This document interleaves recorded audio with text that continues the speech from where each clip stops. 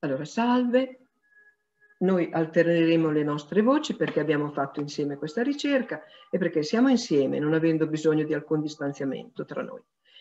Non parleremo degli aiuti che pure ci sono stati, eh, diciamo, nel territorio riminese nell'ambito del, del, razzismo della, della persecuzione anti-ebraica, ma non lo facciamo perché ce ne saranno altre persone che si occuperanno del tema e affronteremo alcune tematiche, alcuni casi, diciamo, sui quali ci siamo soffermati in particolare, tralasciandone tanti altri che pure abbiamo trovato e che sarebbero ugualmente interessanti.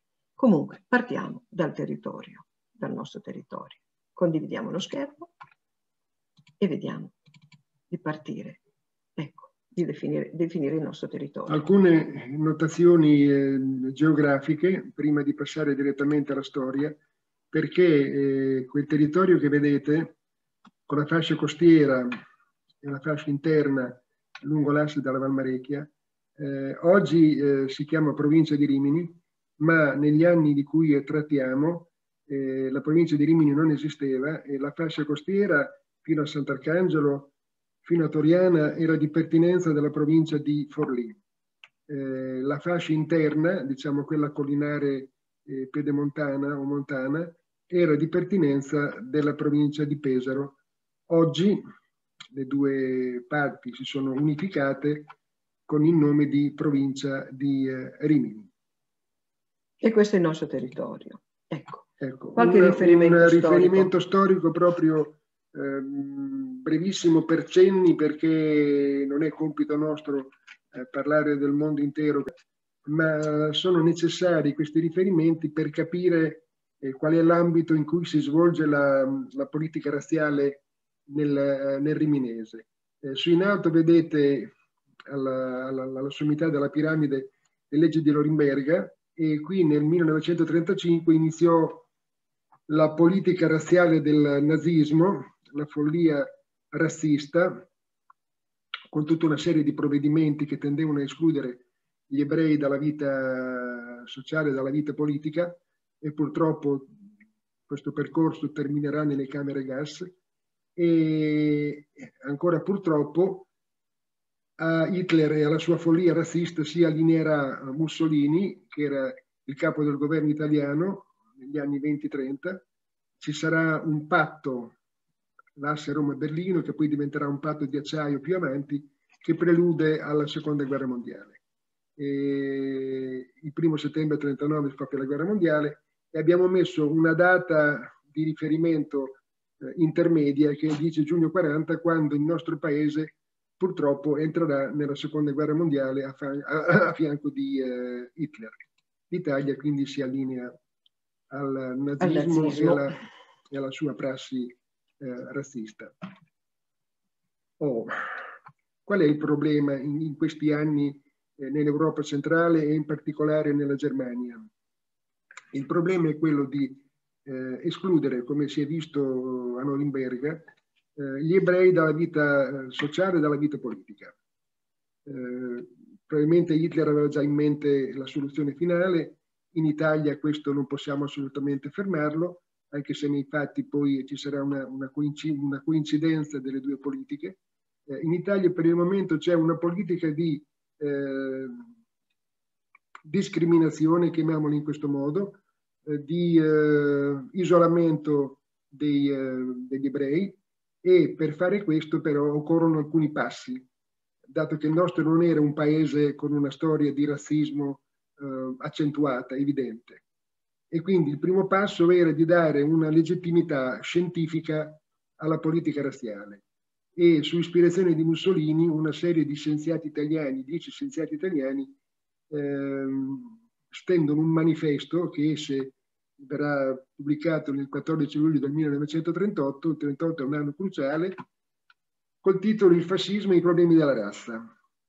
Eh, qui abbiamo indicato solo tre principi eh, particolarmente evidenti eh, il primo è che esiste una pura razza italiana che fa parte della razza ariana e quindi ci allineiamo ai, eh, ai tedeschi. Il secondo è che eh, non, non si deve provare vergogna a essere razzisti, anzi è tempo, dicono gli scienziati, che gli italiani si proclamino francamente razzisti.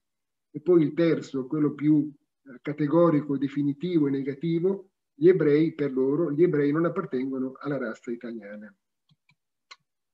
E quello che ancora non è chiarissimo è come si fa a identificare l'ebreo. Eh, mentre per, diciamo, popolazioni africane la percezione visiva è immediata, per l'ebreo non è così, nel senso che l'ebreo è in tutto e per tutto simile al non ebreo italiano, ariano o al non ebreo eh, tedesco ungherese o polacco.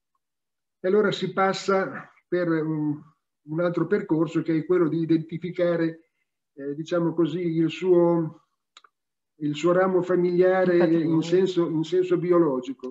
I nonni, i genitori erano ebrei, fino a che punto, eccetera, eccetera. E qui va avanti una politica razziale che a volte è grottesca e assurda, che però porterà a un primo censimento della popolazione italiana e di conseguenza della popolazione riminese per eh, segnala, verificare e segnalare tutti i casi di eh, ebrei presenti nel territorio. Il risultato è evidente sotto i vostri occhi. Eh, le famiglie di ebrei residenti, ecco la prima cosa da sottolineare è questa. Vedete due eh, tipologie di ebrei, gli ebrei residenti da una parte e gli ebrei temporaneamente presenti dall'altra. Eh, cosa significa? Significa che la vocazione turistica del nostro territorio era evidente eh, già in questa prima parte del Novecento. Un, un territorio a vocazione turistica come questo aveva durante l'anno, soprattutto nella stagione estiva, delle presenze consistenti di eh, famiglie di religione ebraica, eh, sia perché possedevano villini al mare, secondo alcune, non tutte, e sia perché frequentavano i nostri litorali per ragioni di salute o per ragioni di svago. E quindi loro sono temporaneamente presenti. E come vedete dal, dai numeri sono sicuramente più i temporaneamente presenti dei residenti. Certo. Poi c'è anche l'altro elemento, quello del misto, eh, proprio perché si diceva non è tanto una definizione di religione quanto una definizione di razza razza, cioè di nonni, di familiari, di padre e madre, quindi i quarti di ebraismo che ci sono nel sangue, era questa l'aberrante visione no? per definire sì. l'ebreo. Indipendentemente dal fatto che uno frequentasse o meno la sinagoga, pregasse o meno in un modo o in un altro. Ecco perché appunto sono definite miste alcune famiglie e sono quelle dove per esempio il padre è ebreo e la madre no, o viceversa, uno cattolico e l'altro ebreo. In ogni caso ciò non ha impedito alla famiglia di nascere, a queste persone di sposarsi e di mettere al mondo dei figli. Rimini aveva molte di queste situazioni, diciamo, di famiglia mista e non solo Rimini probabilmente. Il popolo di Romagna. Il popolo di Romagna, eh, qui abbiamo mh, voluto mostrare anche questa pagina, popolo di Romagna di Forlì, perché Rimini faceva parte, come si diceva prima, della provincia di Forlì e a livello provinciale nell'insieme era circa un centinaio, 98 abbiamo visto, vediamo scritto qui, in realtà poi erano stati contati 102 ebrei nell'intera provincia di Forlì.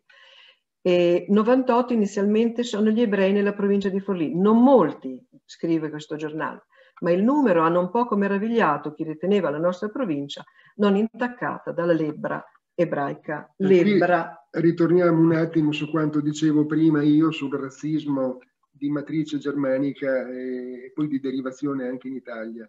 Eh, vale a dire, ehm, l'appartenenza ebraica, eh, che fosse culturale, religiosa o di altro tipo, veniva comunque ehm, identificata con una malattia eh, infettiva, contagiosissima come era la mm. lebbra. Mm. Adesso fortunatamente sono poche le zone del mondo dove la lebbra ancora impera, ma c'è stato un periodo in cui era diffusa anche nelle, eh, in Europa, nei nostri territori. E però pensate un attimo a quello che significa oggi il Covid, eh, quando uno è affetto da malattie infettive assolutamente deve essere isolato e quindi separato. E quindi gli ebrei in quel momento mm. vengono, vengono prima censiti e poi vedremo progressivamente separati dal resto della popolazione in quanto erano a pericolosissimi. Tutti, a tutti i livelli, a tutti i livelli. Ecco le leggi, nello stesso anno 38 abbiamo appunto, dopo il manifesto, e dopo il censimento le prime leggi che vengono pubblicate diciamo nei primi giorni di settembre del 38, poi la prima sarà quella provvedimenti per la difesa della razza nella scuola fascista, la seconda provvedimenti nei confronti degli ebrei stranieri e poi Regio Decreto del novembre che eh, riunifica, riprende alcune di queste tematiche ed estende ancora di più diciamo, l'ambito del razzismo nei confronti degli ebrei. E per quanto riguarda la scuola, forse il provvedimento più noto, eh, ma chiaramente diciamo che anche nel territorio di Rimini ci sono delle ripercussioni, eh, nel senso che eh, questo valeva per tutta, eh, tutta, la penisola, insomma, quindi sia eh, bambini, ragazzi che eh, insegnanti o che personale che in qualche modo anche non docente che si trovava a lavorare dentro la scuola doveva essere cacciato. E il secondo, provvedimento nei confronti degli ebrei stranieri, pure forse abbastanza noto, in ogni caso stabiliva che entro sei mesi tutti gli ebrei stranieri dovessero andarsene. Poi Antonio spiegherà che non sarà così semplice mandare via tutti gli ebrei stranieri, anche perché spesso nessuno li voleva. Indietro non potevano andare, altri paesi stranieri non volevano accettarli, quindi di proroga in proroga eh, rimandavano la partenza e a volte dopo finivano ad essere, con l'essere arrestati o internati. Ma sì. volevo anche, scusa Antonio, dire mm-hmm. che queste sono le leggi forse più note, ma non si ferma qui la legislazione contro gli ebrei, andrà sempre avanti, anno dopo anno, anno dopo anno, anche con circolari minuziose che vanno a regolamentare tutti gli aspetti della vita, tutti gli aspetti della vita privata, anche entrando anche nel tempo libero, poi lo, lo vedremo anche dopo, e, e, per i ragazzi che probabilmente ascoltano, per esempio, l'esclusione dalle società sportive per un ragazzo credo sia una cosa molto dolorosa e pesante. Ricordo eh, Bassani che era stato cacciato a Ferrara dal circolo Marfisa d'Este, circolo di tennis, dove passava tantissimo del suo tempo e un bel giorno non può più partecipare alla vita del, del club. Ecco, questo per far capire, insomma, l'arbitrio anche la, la, l'assurdità di queste misure. Ecco, la stampa naturalmente pubblica. Il Corriere notizia. della Sera, sì, è uno dei giornali più illustri d'Italia e pubblica l'articolo diciamo senza commenti negativi, nel senso che in quel momento non si vede l'ora che gli ebrei vengano allontanati da tutti i posti dove sono visibili per non contaminare gli altri. Ma a livello locale vorrei leggere due righe perché la notizia della cacciata dalla, dall'insegnamento dalle scuole mh, mm, arriva forse prima a Viserba che sui giornali. Leggiamo in un diario, 2 settembre, Leo telefona da Viserba, ore 14, sospeso dall'insegnamento, il razzismo sulle orme del nazismo, le leggi razziali, i bambini esclusi dalle scuole ariane. A scrivere è il padre di questo giovane, eh, in un'immagine assieme alla moglie, che si trovava a Viserba perché aveva sposato la cugina. Lui è Leo Pinkerle, lei Nora Cameo, erano cugini, le famiglie erano già imparentate e questa casa, Villa Cameo, che esiste ancora, era il punto di ritrovo appunto di, di queste due famiglie. Leo, a soli 21 anni, era già docente di fisica teorica all'Università di Padova. Il padre, questo medico qui in camice, assieme ad altri medici di Bologna, pediatra, docente di pediatria, insegnava all'Università a Bologna, entrambi perdono il lavoro, entrambi cacciati dall'insegnamento. Ma ci saranno anche dei bambini a Rimini come Lopez Pegna, che, la cui madre dovrà fare le acrobazie per fargli fare la prima elementare, perché entrava quell'anno in prima e quindi dovrà farlo considerare figlio del primo marito, che non era ebreo, cambiandogli il nome. Leo Pinkerle riparerà in Inghilterra, dove farà egregiamente il suo mestiere, era un allievo di Enrico Fermi e non tornerà mai più in Italia, neanche dopo la fine del fascismo. E la, qui vediamo le due famiglie riunite e diciamo che anche qui, eh, perché poi vedremo che la situazione nel giro di qualche anno diventerà drammatica quando ci sarà proprio la caccia all'ebreo, i Pinkerle dovranno nascondersi, fuggire con altri parenti e passare per contadini, cioè con carte di identità false, e vivere in mezzo ai contadini per cercare di, di sopravvivere. sopravvivere. Un figlio di Pinkerle si unirà ai partigiani invece, farà la lotta partigiana. Ecco, altre due eh, realtà, due, due, casi di cui parlerà anche Francesca, senz'altro, due eh, medici, E quindi abbiamo Mario Castelbolognesi, oculista con la moglie, e Giorgio Matrai con la moglie, eh, questo era un ungherese che aveva sposato una ragazza del posto, la figlia del fornaio, e lavorava presso la casa di cura Villa Salus, naturalmente ne verrà cacciato, e anche Mario Castelbolognesi sarà espulso più avanti nel 39 dall'ordine. Ecco, questa è un po' la situazione anche a Rimini. Per quanto riguarda gli stranieri, due casi, due casi dei tanti che si verificano perché questi sono i nomi degli stranieri che lavoravano in territorio riminese, negli alberghi, segretari o in, un, in qualche caso anche con proprietari. Abbiamo per esempio Carlo Wigder, che ormai si trovava in Italia, si trovava nella cattolica da diversi anni, tanto che aveva sposato una donna italiana del posto, ed era socio di un, diciamo, di, di un ariano, possiamo dire, tra virgolette. E quando arriva la, la norma razziale che prevedeva l'espulsione, naturalmente il socio non lo aiuta per niente, anzi scrive al prefetto che eh, la, questa alleanza, diciamo questa società lo danneggia e dice appena il cliente scopre di essere in casa di un ebreo lascia l'albergo, quindi prima lo mandate via e meglio è e così sarà. Quindi di Carlo Wigder poi non sappiamo che ne è stato perché viene portato al confine e mandato via, al confine del nord Italia. Un altro caso importante, drammatico, è quello di Nissim Matatia, che ehm, proveniva da, da, Corfù, quindi con altri due fratelli, sì, erano greci, erano immigrati in Italia negli anni 20 addirittura, poi avevano iniziato a lavorare nel settore della pelliceria e Nissim aveva aperto un negozio anche a Riccione dove aveva comprato anche una casetta per la famiglia. Questa casa, qui la vediamo ora soffocata dai condomini, ma all'epoca questa casa rossa aveva un grande spazio libero aperto attorno e tanto libero che confinava con un altro spazio libero di una villa, Villa Margherita. Questa Villa Margherita sarà acquistata dalla moglie di Mussolini, quindi diventerà la dimora estiva del duce a quel punto la vicinanza di un ebreo non è più tollerabile e quindi faranno di tutto per, eh, per farlo vendere, per, far, per convincere, costringere anzi questa persona a vendere. Cosa che Nissim Matatia, qui lo vediamo con i tre figli, farà, farà quando ormai è già stato espulso e separato dai suoi, dai suoi e, e la dovrà vendere questa casa eh, a un prezzo irrisorio, praticamente costretto dalla polizia segreta fascista a vendere.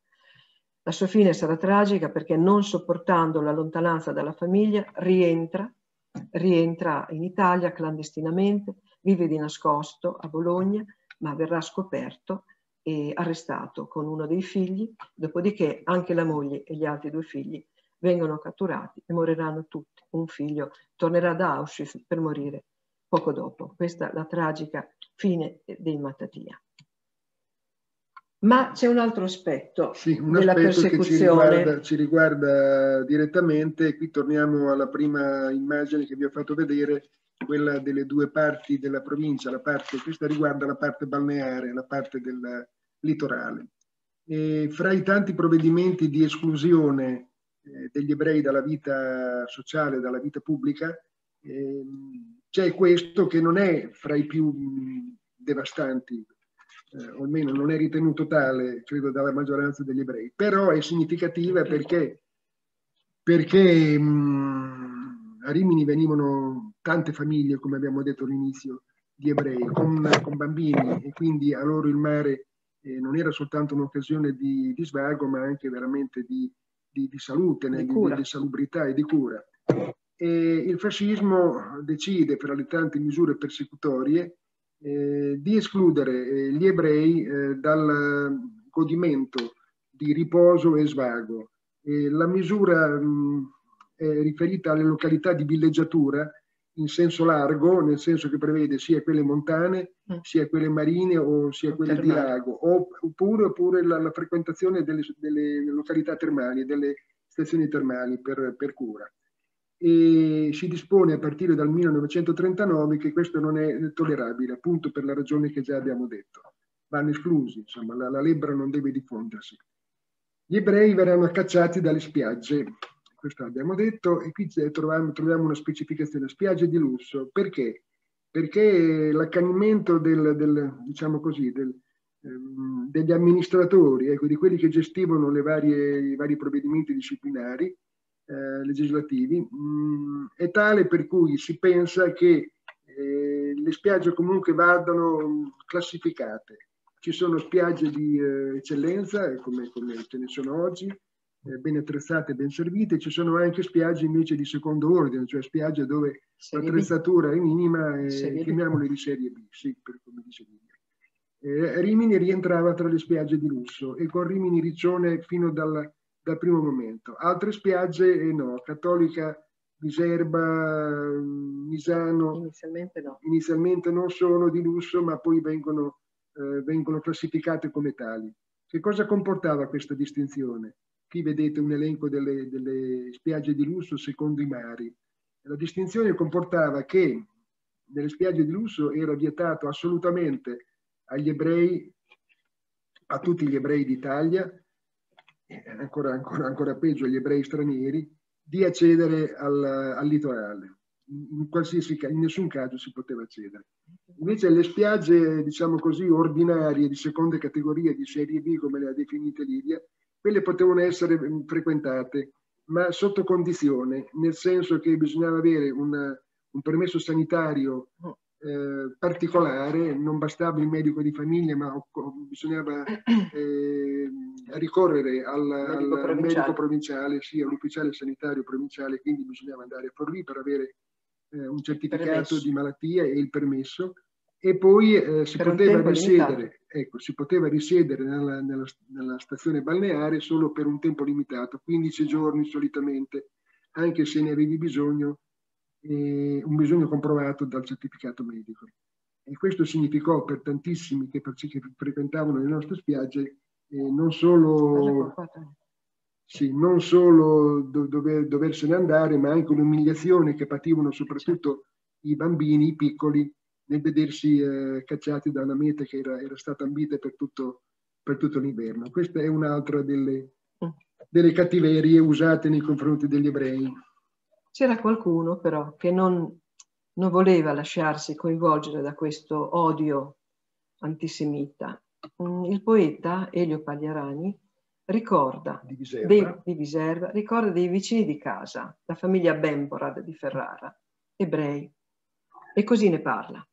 L'estate del 40 conobbi Giovanna Bempora, qui la vediamo nell'immagine, poetessa, grande lettrice, grande traduttrice dal greco e dal latino, vero?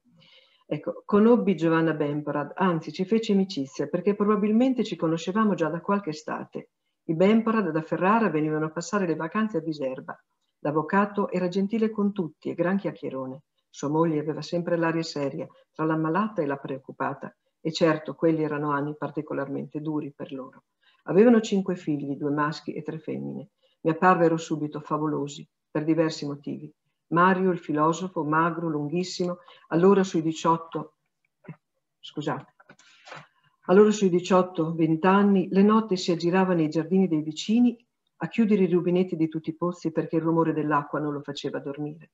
Poi, nel 44, per salvare lui, ebreo, dalla deportazione in Germania, lo rinchiusero in una casa di cura per malattie nervose e soffrì indicibilmente.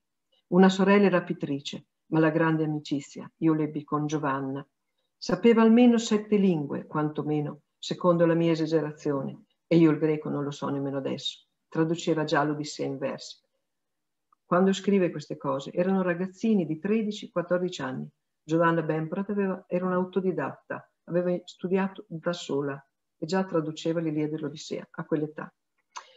Veniva proprio da un altro mondo e facemmo grande amicizia. Molte sere, molte notti d'estate del 40, del 41, del 42, forse anche del 39, e passavamo passeggiando nei campi lungo e oltre la ferrovia, fino all'aperta campagna. Si parlava, si discuteva, ma più spesso lei declamava versi. Leopardi, Saffo e i poeti contemporanei, Cardarelli, Montale, Ungaretti. Ecco, questo per dire come per il poeta Pagliarani la, presentare gli ebrei nella maniera in cui venivano descritti, per esempio, nel libro del fascista, che troviamo anche qui conservato nella biblioteca Gambalunga di Rimini, il secondo, libri, libro, il, il secondo libro del fascista, destinato agli alunni delle scuole, e per mh, mm, il poeta non aveva senso descriverli così. La vasta e subdola opera di corruzione svolta tenacemente dagli ebrei con tutti i mezzi nella vita politica, sociale e economica, nei campi dell'arte, della letteratura e della scienza, rappresentano un pericolo per il domani dell'Italia. Le leggi fasciste riguardanti tutti gli ebrei sono state eh, emanate per eliminare questo pericolo e per ricondurre il popolo italiano alla sua completa purezza fisiologica e spirituale. Queste erano le parole eh, scritte nel libro del fascista che andavano in tutte le scuole e quindi gli studenti si formavano così. Ma Elio Pagliarani non aveva questa visione, anzi apprezzava e stimava moltissimo la famiglia Bemporad, che si salverà, ma tre fratelli del padre, del padre della, della, di Giovanna, quindi tre zii, due zie e uno zio, saranno deportati e uccisi. Ecco. Ora, due casi, volevamo accennare a due casi di bambini che nascono a Rimini, la mm. luce, nel 1941.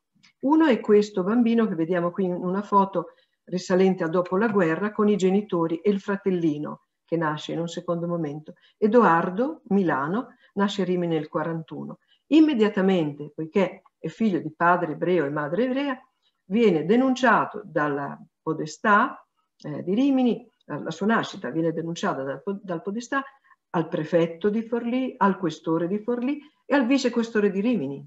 Quindi pensate, per, per, soltanto per dire è nato un ebreo. Tre autorità devono essere informate.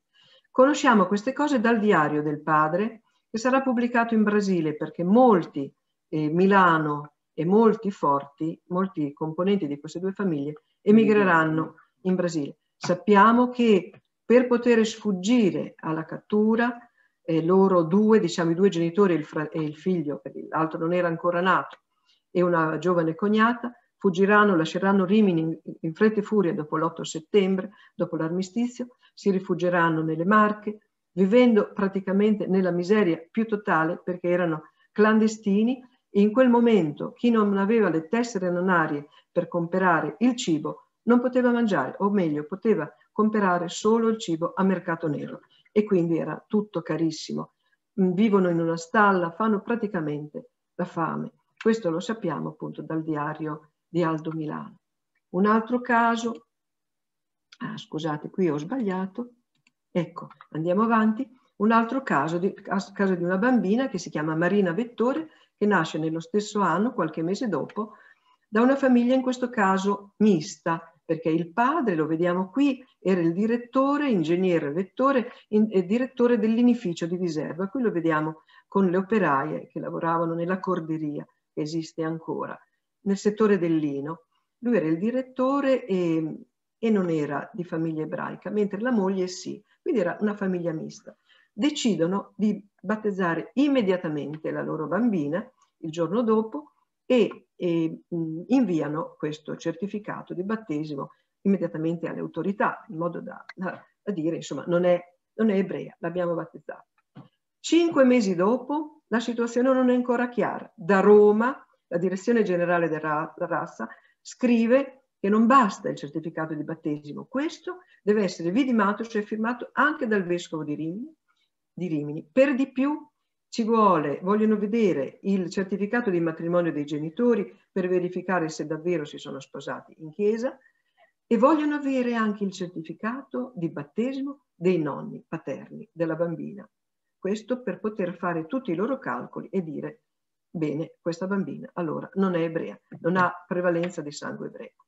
Nonostante tutto, tutto questo, anche se viene dichiarata cattolica e non ebrea, quindi ariana, quando, sempre lo vedremo poi dopo, l'8 settembre, dopo l'8 settembre inizierà la situazione politica cambierà radicalmente anche per queste famiglie, la madre non aspetterà un giorno di più, prenderà le sue bambine e se ne andrà, e se ne andrà via. Rimane il padre, rimane a Rimini, ma lui viene arrestato, viene arrestato e incarcerato, si troverà appunto con altri ebrei arrestati perché aveva cercato di aiutare il suocero e infatti si troverà in carcere con il suocero e poi vedremo dopo come riusciranno a venirne fuori. Ecco. Ecco, questa è un'altra parte della, della, vicenda degli ebrei eh, nel territorio liminese. Dico nel territorio nel senso che eh, ho illustrato nella prima, nella prima diapositiva. Eh, questa è la parte che allora mh, era di pertinenza dell'amministrazione provinciale di Pesaro.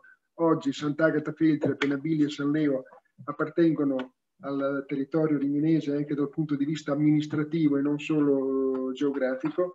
E questi paesi sono significativi per la storia degli ebrei perché qui vengono internati, e vi dirò brevemente cosa significa, tutta una serie di ebrei, eh, prevalentemente stranieri ma non solo, anche italiani, a partire dal giugno 1940, quando l'Italia, come abbiamo già detto nella parte iniziale, entra in guerra a fianco della Germania eh, di Hitler.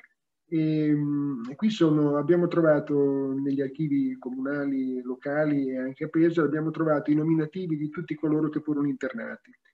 L'internamento è una sorta di domicilio coatto, diremmo noi oggi, eh, di confino di polizia a cui queste persone erano costrette per via della loro razza eh, o della loro pericolosità presunta sì, eh, in periodo di guerra erano stranieri e gli altri italiani non erano fascisti, erano antifascisti e quindi li eh, vengono relegati in eh, paesi. Che tipo di paesi erano questi 400 comuni che vedete dalla parte alta della slide? Erano paesi di solito collinari o montani eh, delle regioni centro-meridionali della mm, penisola italiana, eh, isolati dal resto del mondo, non passavano, non erano vicini a grandi strade di comunicazione eh, l'importante era che ci fosse un presidio dei carabinieri, eh, il podestà ovviamente, perché ogni giorno, almeno una volta al giorno, se non tre in alcuni casi, dovevano andare a firmare, la presenza. attestare la loro presenza in comune. Non potevano allontanarsi per più di 500 metri dal,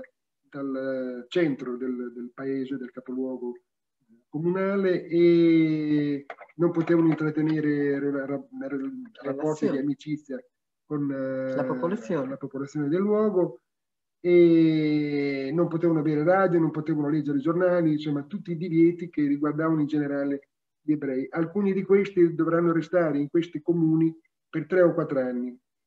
Abbiamo, abbiamo, indicato i luoghi di provenienza, come vedete erano in gran parte i paesi eh, assoggettati a Hitler nel centro Europa, più alcune zone della Jugoslavia e tutti questi resteranno qui con difficoltà di lingua, con difficoltà di ambientamento climatiche di ogni tipo per 4, 3 o 4 anni. E purtroppo alcuni di costoro, vedremo successivamente, verranno arrestati, incarcerati e nessuno di loro verrà deportato, almeno a nostra conoscenza. Certo. Eh, una slide velocissima come quella che vi ho fatto vedere all'inizio per inquadrare storicamente eh, quello che succede in Italia, perché dopo il 1940, il 41 e il 42 che per gli ebrei italiani sono comunque anni pesanti di esclusione e ora subentra qualcosa di ancora peggiorativo, se era, se era possibile immaginarlo. Eh, in seguito allo sbarco degli anglo-americani in Sicilia cade Mussolini, i tedeschi intervengono prontamente per sostenere eh, il dittatore caduto, parte d'Italia con il re e il maresciallo Badoglio invece eh, fare armistizio con gli anglo-americani e dopo pochi giorni entriamo in guerra contro il nostro primo alleato, contro i tedeschi. I tedeschi sono entrati in Italia armati, armatissimi, con diverse decine di migliaia di soldati, occupano il territorio almeno fino a, sotto Roma, fino a Napoli, e eh, l'arrivo dei tedeschi in Italia significherà per gli ebrei ovviamente un peggioramento radicale della loro condizione, nel senso che eh, da da quel momento in avanti, qualche mese dopo, già nel novembre del 1943, eh, la Repubblica di Salò, che Mussolini ha ricostituito con i principi fascisti, eh, emanerà un ordine di polizia in base al quale i, gli ebrei dovranno essere, ecco questo è l'ordine di polizia di Buffarini Guidi del 30 novembre 1943, tutti gli ebrei presenti nel territorio, sia quelli stranieri sia quelli nazionali italiani, devono essere catturati, incarcerati e vedremo poco alla volta eh, deportati. Quindi comincerà forse la fase eh, più critica, più dolorosa per tutti gli ebrei presenti nel territorio. Volevo dire una cosa mh, riguardo a quello che dicevamo prima. Dopo l'8 settembre questa data è molto importante anche per il territorio riminese costiero perché molte, molti ebrei che si trovavano internati, internati in varie parti d'Italia fuggiranno, lasceranno la sede proprio nel momento dello sbandamento di quei giorni, lasceranno le loro sedi di internamento obbligate e molti si dirigeranno verso il sud e alcuni di questi proprio arriveranno, approderanno a Rimini e ci sono storie veramente interessanti di questi, di mm. questi arrivi, insomma, su questi arrivi,